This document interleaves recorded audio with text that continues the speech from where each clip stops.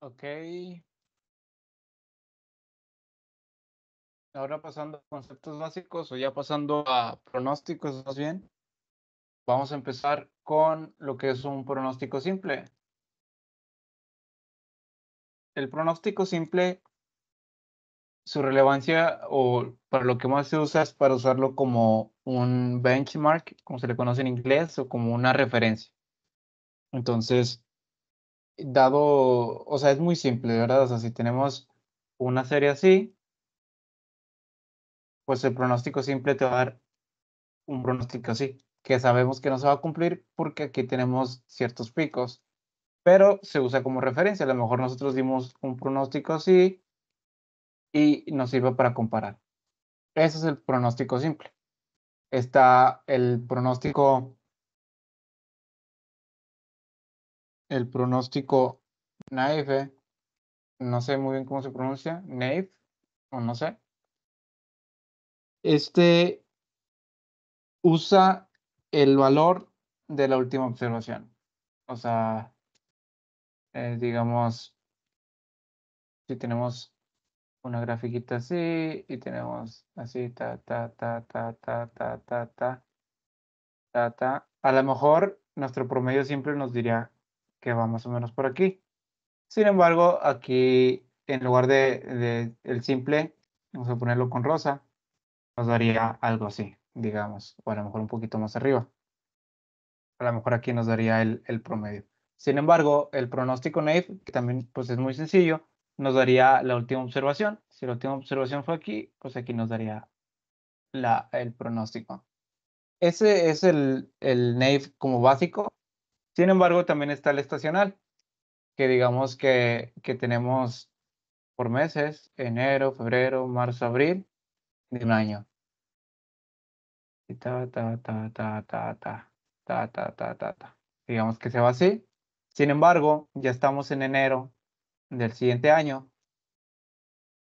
Entonces, podríamos dar un, o bueno, a ver, vamos a poner una mejor digamos, ¿qué puedo hacer? Eh, digamos que eh, eh, las albercas, la demanda de las albercas, pues en, enero está muy baja y luego empieza a subir en, julio, en verano y luego empieza a caer en, en al final del año. Y así se va. Y digamos que tenemos aquí hasta enero. Entonces, hasta febrero, antes de empezar a marzo un promedio simple, pues nos dirían, no, pues va a ser más o menos aquí. Un promedio naive, o a lo mejor un, poquito, si aquí nos dice un promedio simple, va a ser, eh, pues por aquí. Un promedio naive nos diría, no, pues aquí donde te quedaste. Un naive normal, pero un naive estacional nos dice que no. Si te fijas en marzo, suele subir. Entonces, pues el pronóstico lo daría más o menos igual, igualito, así aquí, que el año pasado. Entonces el NAIF, o sea, como que se copia de, o cada 12 meses, o ya dependiendo el, el, el tiempo, pero más o menos así funciona. Entonces, ese pues es el NAIF. ¿Y qué más? Otro concepto, conceptos importantes eh, son los de voluntad de ajuste. Usamos dos principalmente, que es el Ike y el Big. Permítame, que es el Akaike y Bayesiano. Entonces, la forma de cada uno tenemos del Akaike este logaritmo de sigma al cuadrado, rho más 2 rho. Mientras que el bit, vamos a ponerlo aquí, el bayesiano es igual a t logaritmo de sigma al cuadrado rho más rho lnt, donde rho son los rezagos. ¿Qué es lo que hace esto así intuitivamente? Simplemente es penalizar a los rezagos, porque si nosotros pusiéramos un chorro de rezagos, pues nos daría, o sea, se sabe que a un modelo entre más le pongas variables y le pones un chorro, te va a dar, o bastantes, te va a poner te va a decir que te da muy buenas, muy buenas estimaciones. Sin embargo, no es cierto. De ahí viene lo que se le llama como una regresión espuria.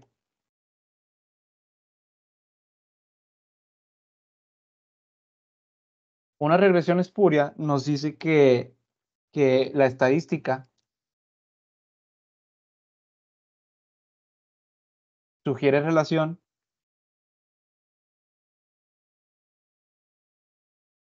cuando no la hay.